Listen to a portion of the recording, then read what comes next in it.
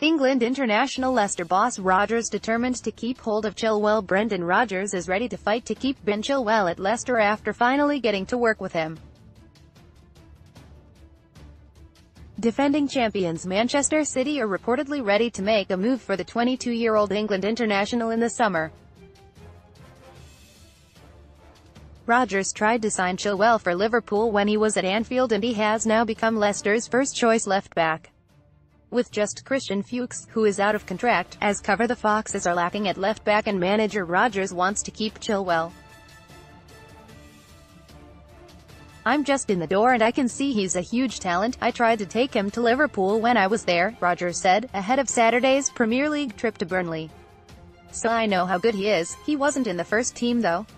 But I'm pretty relaxed about it. He's a wonderful young player, he's still got a lot to learn in his game. He really enjoys being here, we'll see how it pans out but he's certainly one we don't want to lose. We'll assess it as we go along. Leicester snubbed Liverpool's interest again in 2016 and issued a hands-off warning to Rodgers' replacement Jurgen Klopp. Chilwell had not made a Premier League appearance when Rodgers was interested but he quickly realised the young defender would not leave the King Power Stadium. The club were keen to keep him here, he was a boy that was recognized as a talent at the time, he said. We were looking for a left back and he was right at the top of the list. We didn't get to it nearly there. Leicester were obviously going to protect their assets, there you go.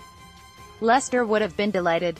It was important, Leicester are 10th in the Premier League after a first win under Rodgers last week, a 3-1 victory over Fulham. Burnley are just two points above the relegation zone after three straight defeats but Rodgers has belief in opposite numbers Sean Dyche. He added, Sean's done an outstanding job there. He got them back there. Last year they had really good success and they qualified for Euro football and my experience of that is that it's very difficult. You come back in